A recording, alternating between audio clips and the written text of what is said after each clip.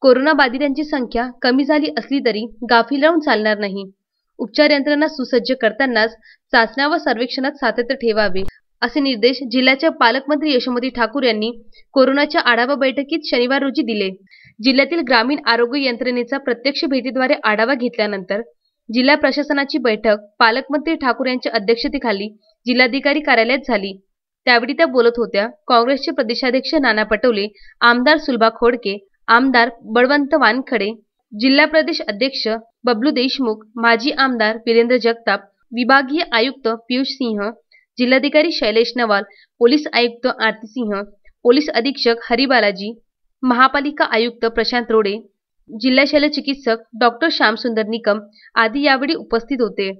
पालकमंत्री ठाकूर म्हणाल्या की बाधित संख्या कमी झाली तरी संभाव्य तिसरी लाट लक्षात घेता चाचण्याची संख्या कमी होता कामा नये. उपचार यंत्रणा सुसज्ज करतानाच गावोगावी ग्राम दक्षता समित्यांच्या माध्यमातून भरीव जनजागृती करावी. प्रत्येक प्राथमिक आरोग्य केंद्रात कोरोना उपचाराची व्यवस्था व तीन कॉन्स्टेंटर उपलब्ध करून देण्यात येत आहे. म्युकर मायकोसिससाठीही मोहीम राबविण्यात आली असून कोविड पश्चात घ्यावयाच्या काळजीबाबत मार्गदर्शन केले जात आहे.